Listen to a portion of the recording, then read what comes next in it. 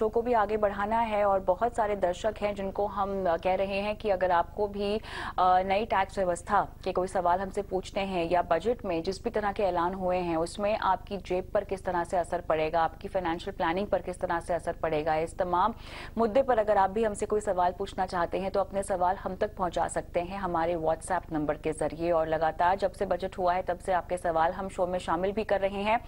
Number आपको हम बता दिए देते हैं nine six one nine eight seven three five six seven, ये वो नंबर है जहाँ पर आप अपने सवाल हमें अभी भी भेज सकते हैं। आप लाइव अपने सवाल हमें भेजिए, हम लाइव आपके सवाल को शो में लेंगे और हमारे एक्सपर्ट से जो है आपके सवालों के जवाब भी दिलवाएँगे।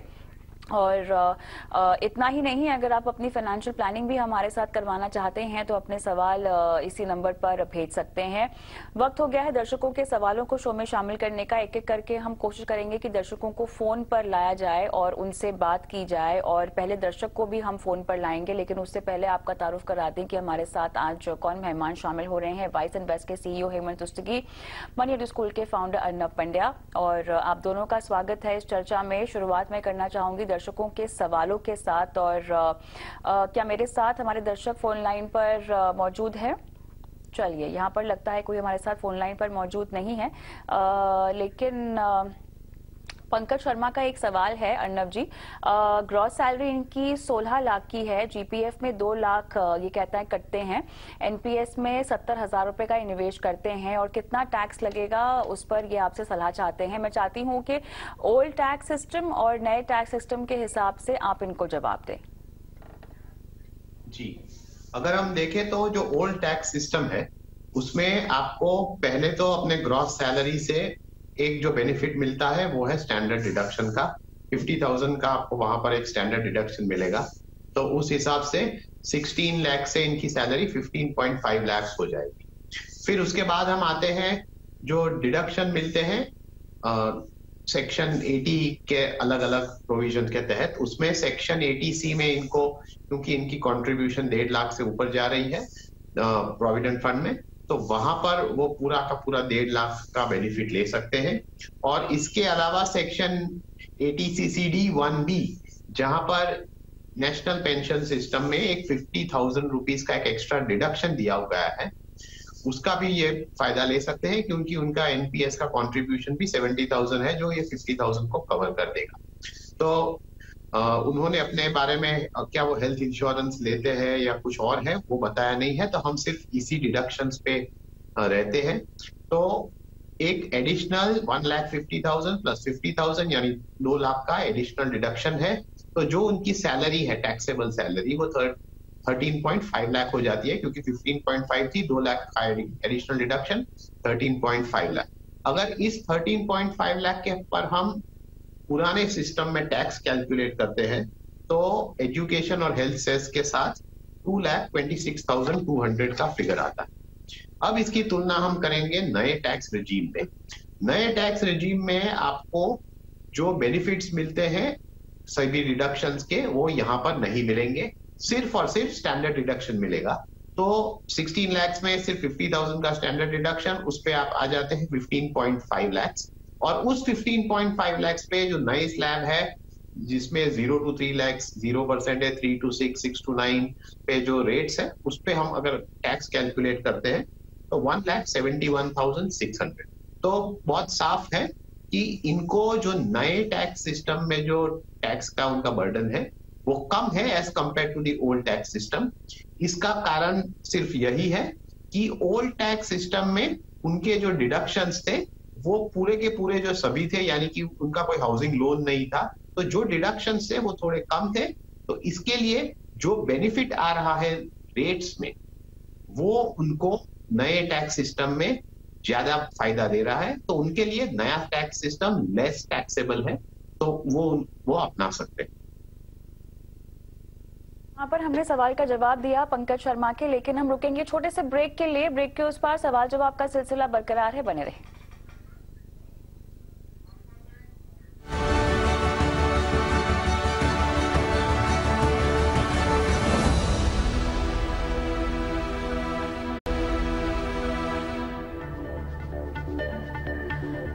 बैक आप देख रहे हैं टी मनी वन अपना फाइनेंस मिनिस्टर और यहाँ पर हमने शुरुआत कर दी है सवाल जवाब के सिलसिले की, जहाँ पर हम जितना हो सके दर्शकों के सवालों के जवाब देंगे, भले ही वो नई टैक्स व्यवस्था को लेकर हो या वो अपनी पूरी तरह से फाइनेंशियल प्लानिंग हमारे साथ करवाना चाहते हो।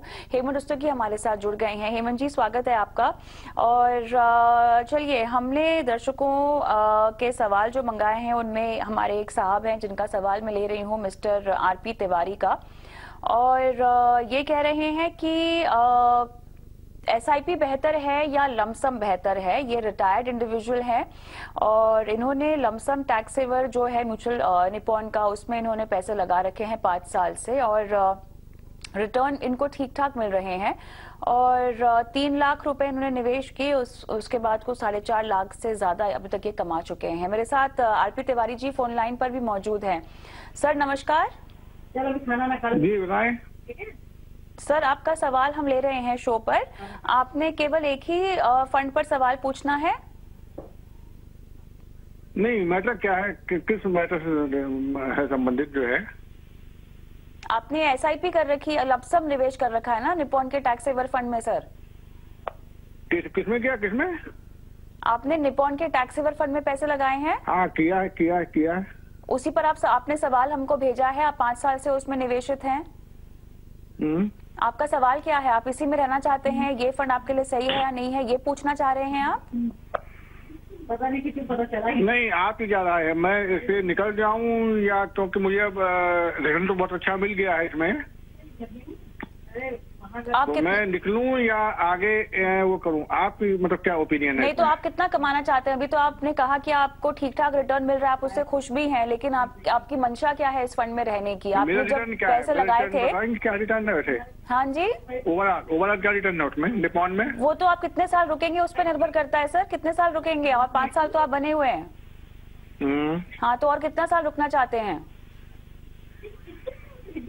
तो फिर मैं इसमें अभी सोच के बताऊँगा। अभी मैंने सोचा नहीं मैं कहीं बैठा हूँ मीटिंग जो है बाद में बताऊँगा। मैं हेमंत जी के पास जाना चाहती हूँ। अभी सवाल को लेकर। हेमंत जी आपको मेरी आवाज़ आ रही है तो फ़िलहाल तो आरपी तिवारी जी खुश लग रहे हैं इस तरह के फंड से रिटायर्ड इंडिविजुअल हैं। हमें पता नहीं है कि उनको ये जो पैसे फ़िलहाल रिटर्न के तौर पर मिल रहे हैं उसे ये क्या करना चाहते हैं। एक टैक्स सेवर फंड में इतना लमसम करना क्या सही होगा या इससे बेहतर रणनीति अपनाई जा सकती थी हेमंत जी? नहीं, देखिए कविता अगर हम अभी तक की बात करें तो टैक्सेशन के लिए ईएलएसएस जो है काफ़ी अच्छी ऑप्शन है इन्वेस्टर्स के लिए, क्योंकि हम जानते हैं कि इक्विटी लिंक सेविंग स्कीम्स है। ऑब्वियसली इसकी जो इन्वेस्टमेंट है वो इक्विटी में होती है और इसका जो लॉक इन पीरियड है तीन साल, वो बाकी जो ऑप्शन है एटीसी में, उनमें सबसे कम है। तो आई थिंक उस हिसाब से अगर हम देखें एज ए पैकेज तो मुझे लगता है ईएलएसएस एक बहुत ही अच्छी ऑप्शन है। अब डिसीज़न क्या होता है कि आपको ये सोचना है कि तीन साल का जब मैंडेटरी लॉक इन पीरियड खत्म होता है, उसके बाद हम क्या करें? देखिए, उसके दो तरीके हैं देखने के। एक तो ये कि अगर आपका फंड जिसमें आप हैं उसमें अगर आप वो अच्छा कर रहा है तो आप उसमें कंटिन्यू कर सकते हैं।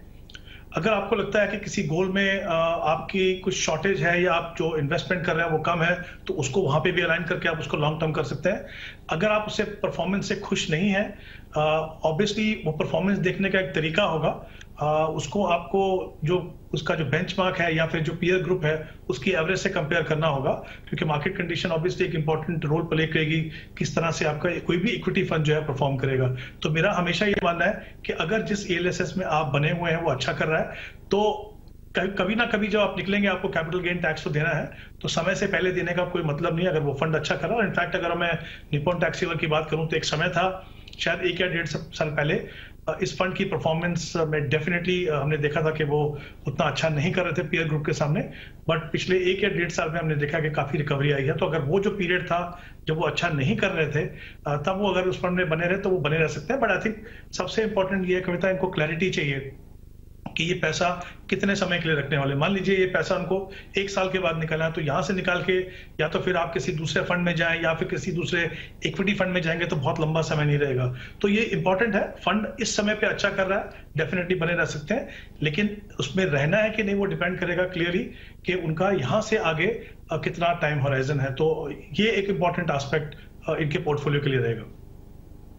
तो मैं छोड़ देती हूँ बिकॉज़ इनको क्लैरिटी नहीं है और इन्होंने कहा कि वो सोच के बताएँगे इनको क्या करना है। लेकिन एज ए रिटायर्ड इंडिविजुअल इस तरह की रणनीति जहाँ पर आप टैक्स बचाने के लिए एक एल में निवेश कर रहे हैं, आप रिटायर्ड हैं और आप इक्विटी फंड में पैसे लगा रहे हैं और वो भी लमसम लगा रहे हैं ये रणनीति कितनी सही है?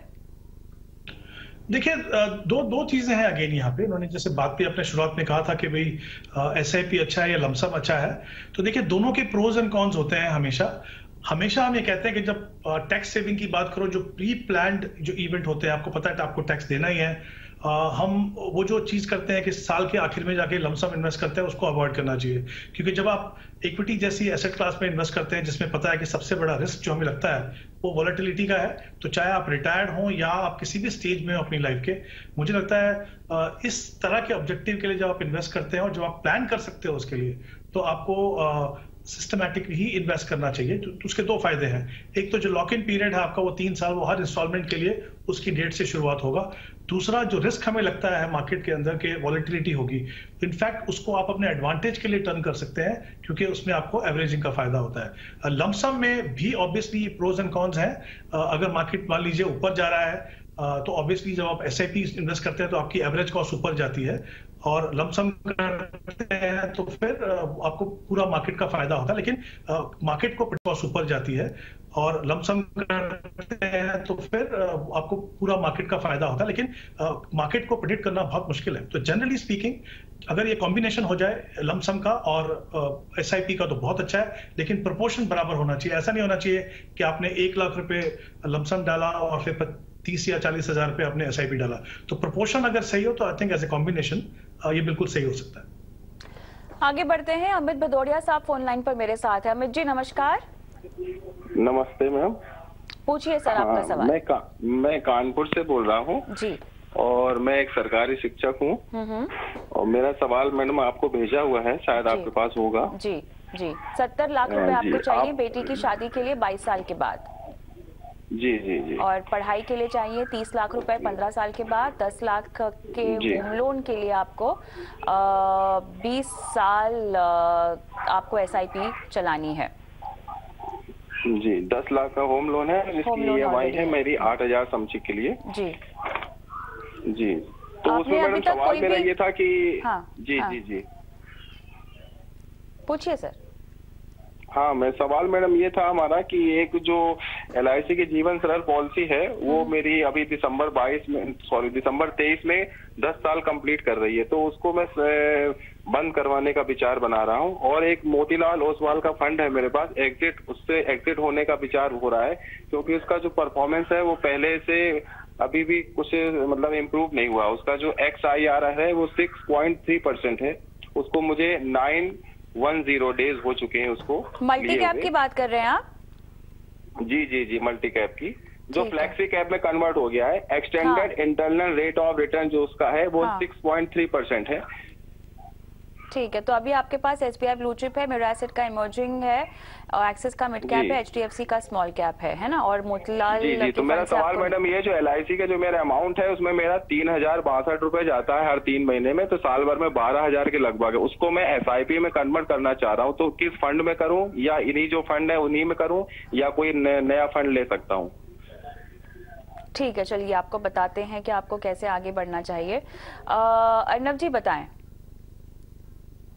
ये अगर इनको आगे बढ़ना है इन दिस केस तो मेरे हिसाब से इनको ये करना होगा कि जो उनकी प्लानिंग है, देखिए, इनके एग्जिस्टिंग फंड्स हैं तो आपको at various points of time तो आपको ऐसे दिखेंगे कि some are performing some are not performing तो फ्लेक्सी कैप फंड इनका जो है, जो परफॉर्म नहीं कर रहा है तो उसमें वो एक बदलाव कर सकते हैं। तो मेरे हिसाब से अगर उस फ्लेक्सी कैप कैटेगरी में कैनेरा रोबेको का फ्लेक्सी कैप में वो जा सकते हैं तो वहाँ पर ये एक बदलाव कर सकते हैं। तो अभी जो उनकी एग्जिस्टिंग एसआईपी चल रही है, मेरे हिसाब से उनको इसमें चालू तो रखनी ही चाहिए। दूसरी बात यह है कि जो उन्होंने बताया कि जो उनका इंश्योरेंस पॉलिसी है, जो अब कई साल उसमें खत्म हो चुके हैं तो उसमें उनकी अगर इसमें ज़रूरत दिखाई नहीं दे रही है तो मेरे हिसाब से इसका भी वो अगर विड्रॉ कर सके तो वहाँ पर भी उनको आ, देखना चाहिए कि उनको कितनी अमाउंट मिलेगी क्योंकि इस पे ये उस बात पे निर्भर करता है कि ओवरऑल पॉलिसी टर्म क्या है और पॉलिसी में जो सरेंडर वैल्यू है उसकी क्या बात है। अगर आपको एक बहुत बड़ी रकम इसमें कट रही है एज ए सरेंडर वैल्यू तो आपके पास एक और ऑप्शन रहता है जहाँ पर आप पॉलिसी को पेड अप कर सकते हैं। इसका मतलब ये होता है कि आप ज़्यादा प्रीमियम इसके आगे ना बढ़े और ना भरे और जो आपका जो सम एश्योर्ड है, वो करस्पॉन्डिंगली कम हो जाएगा। तो जो उन्होंने स्प्रेड आउट किया है in terms of various investments NPS में है इक्विटी फंड्स में है तो ये एक अच्छी बात है। वो उनको चालू रखना चाहिए और मेरे हिसाब से अगर इनको अपने गोल्स अचीव करने हैं तो धीरे धीरे करके जो इक्विटी फंड्स में जो रकम जा रही है, उसका भी उनको हर साल बढ़ाना चाहिए। अमित जी, कोई सवाल आपने पूछना है अर्नब जी से? मैडम ये पूछना था कि जो मैं एलआईसी की पॉलिसी अगर बंद करूँगा तो उससे मुझे बारह हज़ार रूपए साल की बचत होगी। तो मैं क्या इस एग्जिस्टिंग फंड में ही इसको निवेश करूँ या मुझे कोई दूसरा फंड लेना चाहिए जिसमें ये बारह हज़ार डाल सकूँ? जी आपको फंड की रिकमेंडेशन दी है। अर्नब जी आप क्या बदलाव बता रहे हैं इनको फंड्स में? मेरे हिसाब से ये जो फंड्स उनके पास है उसमें अगर उनको ऐड करना है तो पराग परीक का फ्लेक्सी कैप है मेरा ये एसेट का इमर्जिंग ब्लू चिप है ये सब वो ऐड कर सकते हैं। लेकिन एस तो रकम बच, बचत होके आएगी वो काफ़ी बड़ी नहीं होगी मेरे हिसाब से। तो वो एग्जिस्टिंग फंड्स में डाल सकते एक एडिशनल फंड ही इसमें ऐड कर सकते हैं as per the list Mirae asset emerging blue chip Parag Parikh का flexi cap HDFC small cap UTI Nifty next fifty fund ये रेकमेंड आपको किया जा रहा है। अमित जी उम्मीद करते हैं कि आपको सवाल का जवाब मिल गया होगा। ऑल द बेस्ट आपके इन्वेस्टमेंट के लिए। विकास फ़ोन लाइन पर मेरे साथ हैं। नमस्कार। हेलो विकास जी मुझे आपकी आवाज़ आ रही है। सवाल पूछिए सर। हाँ मैडम मैं ये पूछ रहा था। मेरे पास है ना एस आई पी मेरी चल रही है। जी ABSL manufacturing equity IDFC hybrid equity HDFC top hundred ICICI Pru India opportunity में आपकी एसआईपी चल रही है है ना? हाँ मैडम इसमें क्या है कि इसमें तीन ऐसे भी मेरी है वो पाँच साल हो चुके हैं। ठीक है और सर। उसमें सोलह सत्रह परसेंट रिटर्न है। हम्म हम्म। पाँच साल पाँच साल में। हम्म। पर दूसरा जो मैंने आठ हज़ार का ऐसा भी जो चालू किया है तो अभी मेरा ओवरऑल क्या हुआ है तीन लाख चार लाख का टोटल जमा हुआ है। उसमें से तीन लाख मेरा इन्वेस्टमेंट अमाउंट है और चार लाख टोटल हो रहा है तो एक लाख का प्रॉफिट है। तो और ये तो इसको बहुत टाइम हो गया है मैडम पर अभी प्रॉफिट और ज़्यादा बढ़ नहीं रहा है। तो मेरी इन्वेस्टमेंट अमाउंट ही बढ़ रही है। प्रॉफिट एक लाख का एक वही का वही है। सर ये आप जो फंड आपने इकट्ठा किए हैं ये आपने किस उद्देश्य से किए हैं? मैडम वेल्थ क्रिएशन के लिए। दस पंद्रह साल के बाद मेरे को अच्छी सी अमाउंट बड़ी अमाउंट चाहिए। कितनी बड़ी? मेरे को साठ सत्तर लाख रुपए की अमाउंट की ज़रूरत है। चलिए तो यहाँ पर तो थोड़ा सा दुरुस्त करना पड़ेगा आपके पोर्टफोलियो को। एबीएसएल मैन्युफैक्चरिंग इक्विटी आपको किसने रेकमेंड किया था?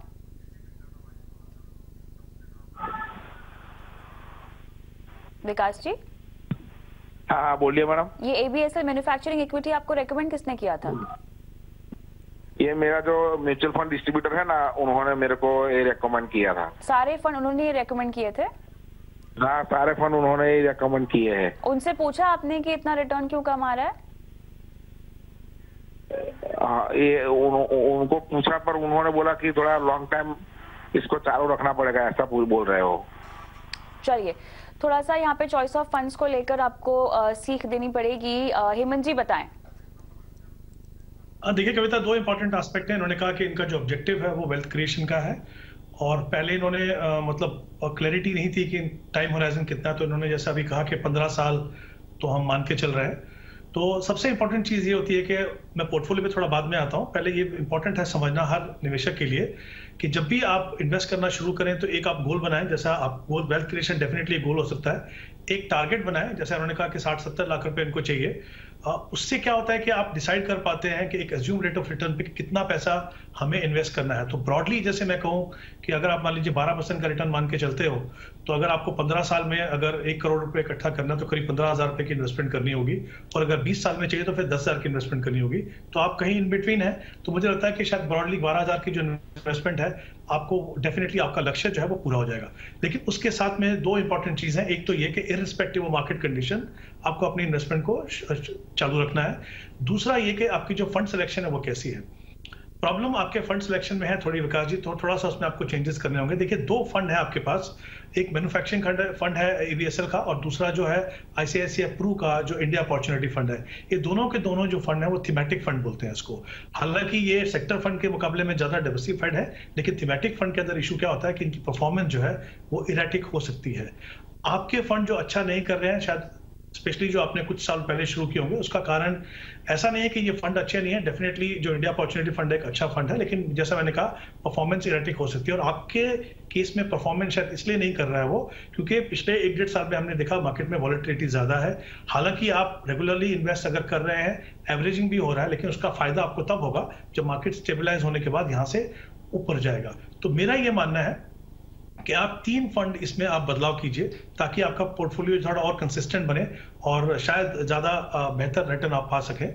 तो जैसे एबीएसएल का मैन्युफैक्चरिंग फंड वहाँ पे 2000 आप इन्वेस्ट कर रहे हो आईसीआईसीआई प्रू का जो इंडिया अपॉर्चुनिटी फंड है, वो और आईडीएफसी का जो हाइब्रिड फंड है क्योंकि जब पंद्रह साल के लिए इन्वेस्ट करें तो हाइब्रिड फंड का मुझे लगता नहीं आ, कुछ ज़्यादा मतलब है। तो उसकी जगह मैं तीन फंड मैं आपको रिकमेंड कर रहा हूँ। उसमें निपॉन इंडिया का मल्टी कैप फंड है जिसमें आप चार हज़ार रुपये इन्वेस्ट कर सकते हो। आईसीआईसीआई प्रू का लार्ज एंड मिड कैप है जिसमें आप चार हज़ार इन्वेस्ट कर सकते हो।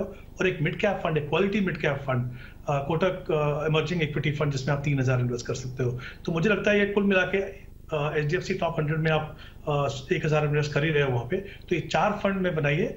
इन्वेस्टमेंट बढ़ाना हो तो भी इन्हीं फंड्स के अंदर भी आप ऐड कीजिए। मुझे लगता है पोर्टफोलियो में थोड़ी कंसिस्टेंसी ज़्यादा आएगी। और जिस तरह का एलोकेशन डिफरेंट सेगमेंट जो है मार्केट के लार्ज मिड और स्मॉल होना चाहिए, वो भी आपके पोर्टफोलियो में आएगा। तो पोर्टफोलियो में बदलाव कीजिए और जैसा मैंने पहले कहा इरिस्पेक्टिव मार्केट कंडीशन आपको अपने इस प्रोसेस को कंटिन्यू करना है। एक दो साल अगर फंड ने अच्छा नहीं किया, ये बेहतर से बेहतर फंड भी ऐसे फ़ेज़ में आएँगे जब वो अच्छा नहीं करेंगे तो कारण जानने की कोशिश कीजिए, बजाय इसके के बहुत जल्दबाजी में उसमें बदलाव करें। तो ये कुछ चीज़ें आप बदलाव कीजिए, मुझे लगता है डेफिनेटली आप अपने लक्ष्य तक पहुँच पाएँगे। और राइट चलिए आगे बढ़ते हैं और अनीश का सवाल मैं लेना चाहती हूँ, जो कि ये पूछना चाह रहे हैं कि इन्हें एक्चुअली जो नया टैक्स रिजीम है वो समझ में नहीं आ रहा। नौ लाख पर पैंतालीस हज़ार का टैक्स दस लाख पर बासठ हज़ार का टैक्स क्यों है और प्रति लाख कितनी टैक्स लाइबिलिटी बनेगी? अर्नब जी? देखिए, जो नई टैक्स सिस्टम है, उसमें जब टैक्स कैलकुलेट किया जाता है तो आपकी इनकम के को ध्यान में रखते हुए उस पर टैक्स कैलकुलेट होता है। लाइक फॉर एग्ज़ाम्पल अगर आपकी इनकम ज़ीरो से तीन लाख तक है तो आप पे कोई टैक्स नहीं है। यानी कि पहले तीन लाख की जो इनकम है, वो आपके लिए ज़ीरो रेट टैक्स, आपको कोई टैक्स भरना नहीं रहता। दूसरा स्लैब आता है तीन लाख से छह लाख। वहाँ पर जो आपको टैक्स की दर लगती है, वो सिर्फ़ पाँच परसेंट लगती है। यानी कि इस तीन लाख के अमाउंट पर आपको फाइव परसेंट टैक्स भरना पड़ता है, यानी कि आता है फिफ्टीन थाउज़ेंड। अगला तीन लाख का स्लैब है, छह लाख से नौ लाख। उस पे जो रेट होता है, वो आता है टेन परसेंट का। यानी कि इस तीन लाख पे टेन परसेंट जो आता है तीस हज़ार। यानी कि अगर आपकी इनकम नौ लाख तक है तो पहले तीन से छह लाख का पंद्रह हज़ार प्लस इस तीन लाख के स्लैब का तीस हज़ार, यानी कि आपका टैक्स हो जाता है फोर्टी फाइव थाउज़ेंड उस पे चार परसेंट का एक हेल्थ और एजुकेशन सेस लगता है, और वो आपकी फाइनल टैक्स लायबिलिटी होती है अब मानिए मान लीजिए आपकी इनकम नौ लाख नहीं दस लाख अब जो दस लाख है वो अगले स्लैब में आता है। यानी कि नौ से बारह लाख का जो स्लैब है उस पे जो रेट है वो बढ़ के पंद्रह परसेंट हो गई है। तो यानी कि ये जो एडिशनल अमाउंट है जो आ, आपको नौ से दस लाख में जो एक लाख का एडिशनल अमाउंट है उस पे आपको पंद्रह परसेंट यानी कि फिफ्टीन थाउज़ेंड का एक एडिशनल टैक्स आ जाएगा। यानी ये आपका अब टैक्स हो गया सिक्सटी थाउज़ेंड और उस पे आपको चार परसेंट का सेस लगेगा। तो उस हिसाब से आपका फाइनल टैक्स लायबिलिटी हो गया। तो आपको टैक्स इस तरह से गिनना है कि जहाँ पर भी आपकी फाइनल इनकम आके रुकती है, उस, वहाँ तक पहुँचते आपको हर एक स्लैब में कितना आप पे बर्डन आता है, वो कैलकुलेट करके उस पर आपको फोर परसेंट का सेस लगाना है और फिर आपकी फाइनल टैक्स लाइबिलिटी आ जाती है। तो इसीलिए ये जो रेट्स है, वो इस तरह से समझने हैं। हर एक स्लैब का एक स्पेसिफिक रेट है और आप जिस स्लैब में आते हो, आपको पूरी इनकम पे वो रेट नहीं लगता। आपको हर एक स्लैब पे उसकी रेट लगाते लगाते आपको अपनी इनकम पे आना है। और फिर आपकी फाइनल टैक्स लाइबिलिटी होती है। तो इसलिए क्या होगा कि मान लीजिए कि आपकी आय अगर टैक्सेबल इनकम 15 लैक्स भी है तो 15 लैक्स पे जो लास्ट स्लैब है, उसका रेट ऑफ़ टैक्सेशन है 20 परसेंट पर अगर आप टोटल ज़ीरो से शुरू करके आप 15 लाख की पर नए टैक्स सिस्टम में अपना टैक्स गिने तो डेढ़ लाख आता है। यानी कि एक्चुअली आपका ओवरऑल इनकम पे रेट आया, आता है टेन परसेंट पे, क्योंकि जो लो स्लैब्स है ज़ीरो परसेंट फाइव परसेंट वो रेट को एवरेज आउट कर देते हैं। तो ये ध्यान में रखना है आपको टैक्स कैलकुलेट करते समय। आगे बढ़ते हैं और हेमंत जी अगला सवाल है धनंजय का और एनपीएस के ज़रिए पचास हज़ार का ये निवेश करते हैं। नए स्लैब में क्या सेक्शन 80 सीसीडी वन बी के तहत इस पर छूट मिल पाएगी? नहीं कविता अनफॉर्चुनेटली अगर ये न्यू रिजीम के साथ जाते हैं अगले साल से तो डेफिनेटली वो जो छूट उनको पहले मिल रही थी, वो वहाँ पे नहीं मिलेगी। जो बेसिक पर्पस है न्यू रिजीम का वही है कि उसमें आपको जैसे स्टैंडर्ड डिडक्शन दिया गया है, वो आपको मिलेगा। और बट अगर आप specifically A T C C D one B की बात कर रहे हैं तो जो नया टैक्स रिजीम है, अभी जो यूनियन बजट में अनाउंस हुआ है, उसमें आपको उसके ऊपर कोई छूट नहीं मिलेगी। अर्नब जी, आनंद का सवाल है 12 से 15 लाख के ब्रैकेट में ये है और डेढ़ लाख का कुल निवेश करते हैं, कोई होम लोन नहीं है इनके पास अब ये नए टैक्स रेजिम में अगर आ जाते हैं तो इन्हें कितना टैक्स देना होगा? देखिए बारह और पंद्रह लाख का जो स्लैब है वो काफ़ी बड़ा है तो आपको एक एक्चुअल फाइनल फिगर पे आना होगा कि इनकम कितनी है। लेकिन नए सिस्टम में आप कितना डिडक्शन लेंगे, उसका कोई सवाल ही नहीं आता। क्योंकि आप सेक्शन एटीसी के पुराने सिस्टम में जहाँ पर भी निवेश करें, आपका ईपीएफ e हो, आपका इंश्योरेंस प्रीमियम हो, आपका ईएलएसएस e हो, या इवन आपका एनपीएस हो तो ये सब आप अगर सेक्शन एटीसी में पहले डेढ़ लाख ले रहे थे, नए सिस्टम में इसका कोई आपको बेनिफिट नहीं मिलेगा। आपको नए सिस्टम में सिर्फ़ और सिर्फ़ स्टैंडर्ड डिडक्शन का बेनिफिट मिलता है। तो ये डिडक्शन की बात है। वहाँ तो ये आपको नए सिस्टम में उसको गिनना ही नहीं है। तो अब मान लीजिए कि इवन इफ़ इनकी इनकम पंद्रह लाख है तो जैसे मैंने अभी बताया था, पंद्रह लाख पे अगर आप नए सिस्टम में टैक्स कैलकुलेट कर रहे हो तो आपको डेढ़ लाख का टैक्स आता है। बिफोर सेस उस पर फोर परसेंट का आपको सेस लगेगा। तो उस हिसाब से आपका ये फाइनल टैक्स लायबिलिटी आ जाता है।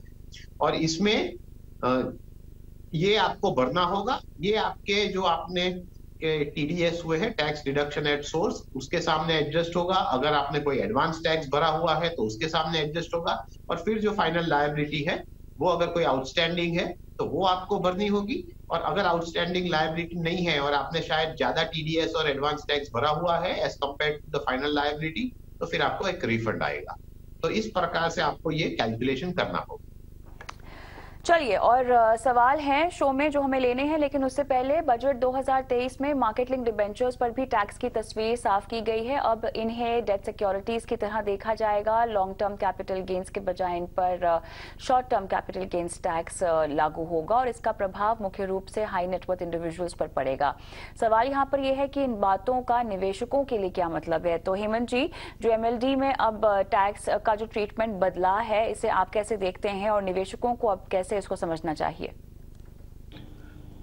देखिए कविता, मैं कहूँगा कि अगर हम एम की बात करें तो बेसिकली ये जो प्रोडक्ट है वो ज़्यादातर जो है एच उसमें इन्वेस्ट करते हैं। ऑब्वियसली वहाँ पे जो टैक्स में चेंजेस किए गए हैं, उससे क्या होगा कि आप किस, आपका होल्डिंग पीरियड कुछ भी रहे उसमें जो भी आपके गेंस होंगे वो लॉन्ग टर्म नहीं माने जाएँगे।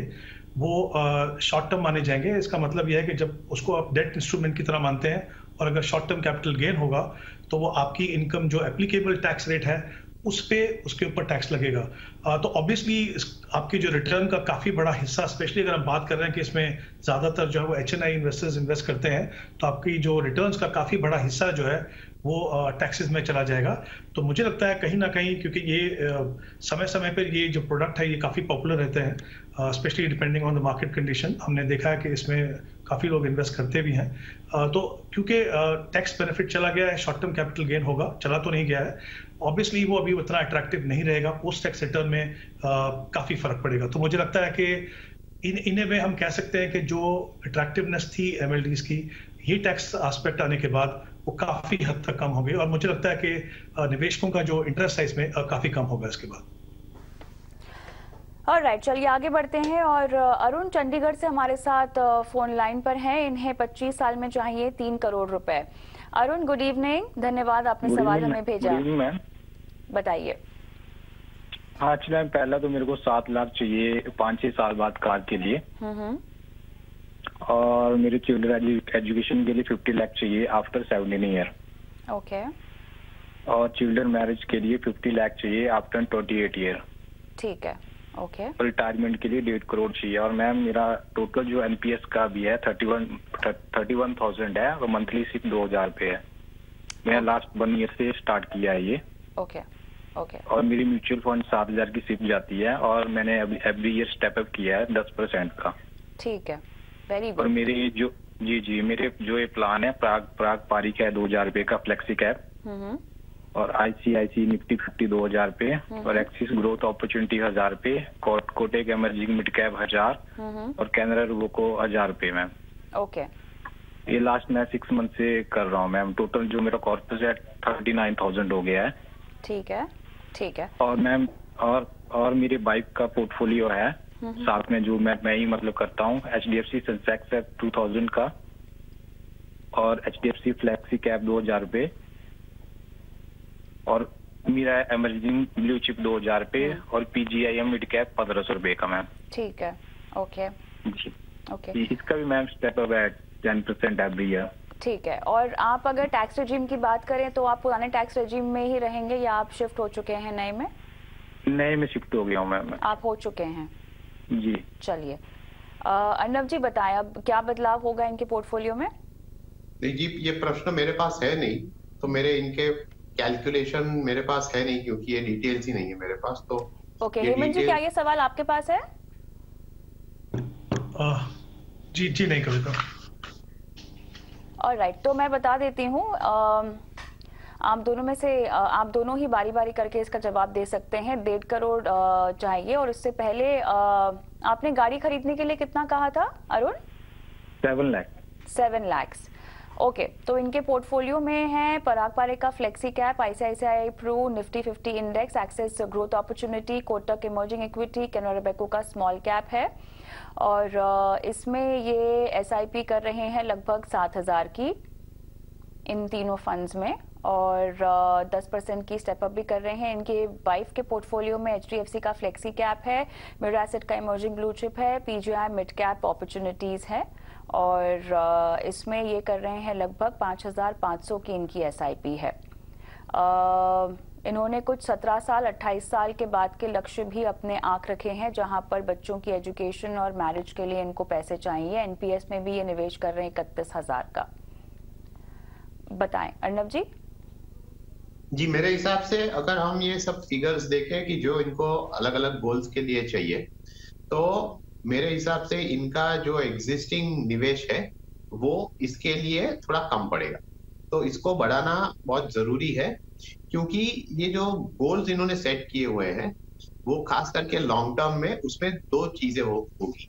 पहली बात एक कि जो गोल का सम है बाई इट थोड़ा लार्ज है तो उसके लिए आपको एक लार्जर अमाउंट चाहिए। दूसरी बात ये कि क्योंकि गोल्स लंबे जा रहे हैं, सत्रह साल, अट्ठाईस साल तो आज की तारीख में उन्होंने जो फिगर्स सेट किए हैं, वो मेरे हिसाब से शायद इन्फ्लेशन को ध्यान में रखते हुए कम भी होंगे। तो उसको भी उनको बढ़ाना पड़ेगा। तो इसलिए जो एग्जिस्टिंग अमाउंट आ रही है, सात हज़ार और पाँच हज़ार पाँच सौ की, वो मेरे हिसाब से इस, इन गोल्स के लिए इनफ नहीं होगी। पर अच्छी बात इनके पास ये है कि उनके पास काफ़ी समय है कि वो धीरे धीरे करके अगर रकम बढ़ाते भी है तो ये इनके गोल्स अचीव हो सकते हैं। तो उसमें कोई तकलीफ़ नहीं होगी। आते हैं दूसरे मुद्दे पर जो है कि उनके एग्जिस्टिंग फंड्स की तरफ़। तो उन्होंने जो एग्जिस्टिंग फंड्स अपने पोर्टफोलियो में शामिल किए हैं small cap mid cap flexi cap वो सभी ए, दो चीज़ें इसमें है। एक तो कि स्प्रेड आउट अच्छा है यानी कि बैलेंस पोर्टफोलियो है क्योंकि हर एक मार्केट कैप का इसमें समावेश हो चुका है। दूसरी बात यह है कि जो फंड्स उन्होंने सिलेक्ट किए हैं, वो भी अच्छे कंसिस्टेंट गुड परफॉर्मर्स है।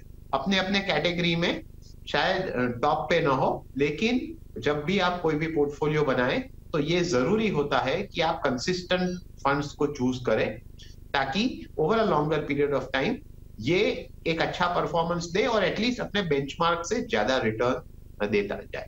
तो उस हिसाब से फंड्स अच्छे हैं, उनको अपने और अपने वाइफ के पोर्टफोलियो में जो भी फंड्स है, उनको चालू रखना चाहिए। और ये जो आगे की रकम जो वो बढ़ाते जाएँगे, वो एग्जिस्टिंग फंड्स में ही बढ़ाते जाए। इसके लिए उनको कोई नए फंड्स को ऐड करने की कोई ज़रूरत नहीं है। तो एग्जिस्टिंग फंड्स में वो ऐड करते जाए और उसी से अपने वो गोल की तरफ़ आगे बढ़ सकते और right Arun all the best आपके इन्वेस्टमेंट uh, के लिए। उम्मीद करते हैं कि आपको सलाह समझ में आ गई हो और इसी के साथ हमारा समय भी खत्म हो गया है। हेमंत जी आपका अर्नब जी आपका बहुत बहुत धन्यवाद। आपने समय निकाला दर्शकों की फाइनेंशियल प्लानिंग की। मुझे भी इजाज़त दे। जाते जाते व्हाट्सएप नंबर आपकी स्क्रीन पर हम छोड़े जा रहे हैं जहाँ पर हमें इंतज़ार होता है आपके सवालों का। नमस्कार।